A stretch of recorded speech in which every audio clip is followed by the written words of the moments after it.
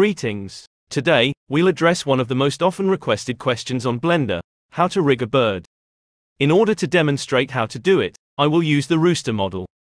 The procedures utilized in this work are the same for whatever sort of bird you choose to rig. If you want, you can leave a comment below asking how I made the feathers, hair, and anything else around the body, and I'll make another tutorial. Okay, so let's rig this rooster or chicken. I used this identical model to make the video you just watched.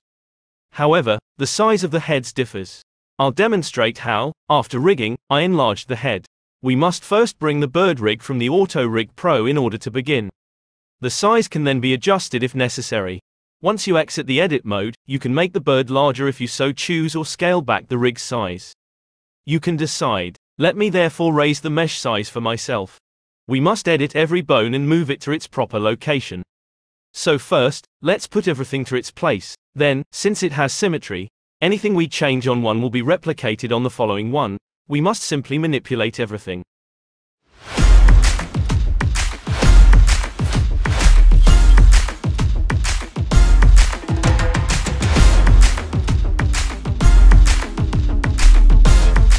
Okay.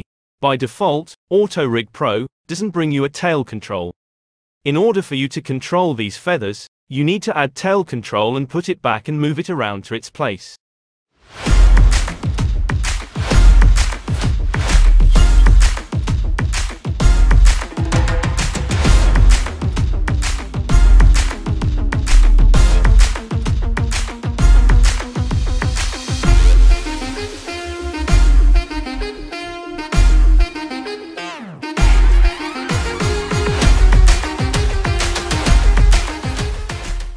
And also Auto Rig Pro, by default, doesn't bring you anything to regulate the wattle, which is the other issue we need to be aware of.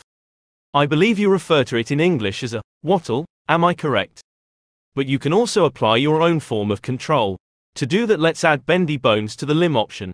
But the control has only one side so we have to duplicate and create two side for the wattle. To do that select single bone and go to limb option and change the side from middle to one side left or right. Then when you move out of this option you can duplicate mirror it. Then you would have two symmetry bones. Therefore, it will be simpler for such tasks. The final step is to match the rig after finishing everything and placing every bone in its proper place. You get controls for the bones once we match the rig. Everything you need to govern the body is at your disposal. But when it comes to drawing shapes, Auto Rig Pro is poor. That way, you may modify it whenever you want. But wait before editing any shapes. Switch to object mode, select the body, and the controls, then go to skin tab, heat map is undoubtedly useful for these kind of rigs. Then bind it, after that you would have the full control the body. But the rig's construction is poor. Although there are a few weight related adjustments that need to be made, but getting to such setups in 2 minutes is incredible. However, when you look at the fit, it just has one control for everything and doesn't have control for the other toes. To fix this, choose the leg controller, navigate to the limb menu, then pick the toes control for its thumb, middle, and pinky controls. Then, click OK. The second item symmetry fails when it comes to limb option. You simply need to move to both sides and produce what you require. Then place each bone in its proper position. The middle, index, and pinky fingers are present.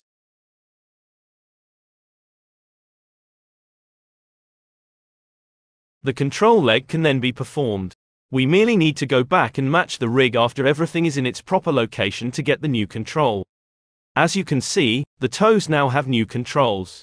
Then we must rebind it completely. Simply go to pose mode, choose the body and controls as before, choose the controls, select the skin tab, and bind everything.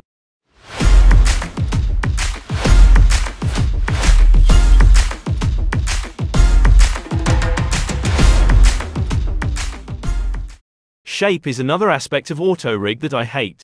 As I already stated, when every time you try to construct a shape, it will simply decide what it believes is the appropriate shape and create it, leading to odd shapes that are larger or smaller than the mesh.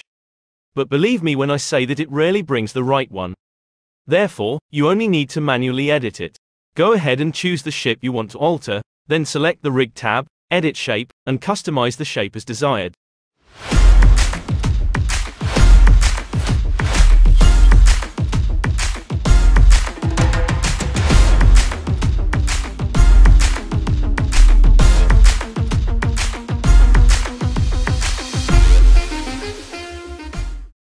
Look, because the eye is not rigged with the body, it does not move with the rig when I rotate it.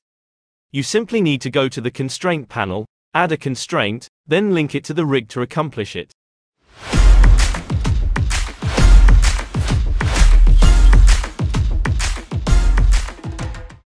Finding a method to fold a wing is the last thing we need to do. When I accessed the Auto Rig Pros menu, I discovered a note. I never imagined there would be options that were so much simpler. And allow me to demonstrate how I did it. Right, let's start by creating a new action called Rig Wings Fold. Make sure the spelling is accurate and that the name is written appropriately. Next, we must build keyframes for the keyframe arm. We must generate two keyframes after Namingor action, building the rig, and creating rig wings fold. On keyframe 0 is the first one. The original position would then be at that location. And on frame 10, we need to set up our position in the manner in which we want the fold to appear. So all I have to do is use the keys to make the fold exactly as we want it and then create a keyframe.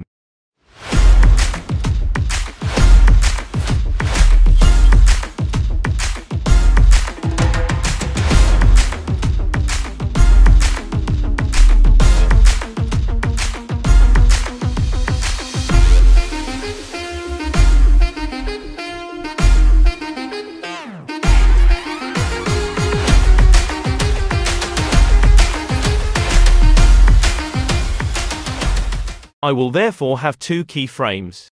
Both the first and the second. On the first one, nothing is folded because it is on the resting post. However, I'm going to fold it on both the left and right sides of frame number 10.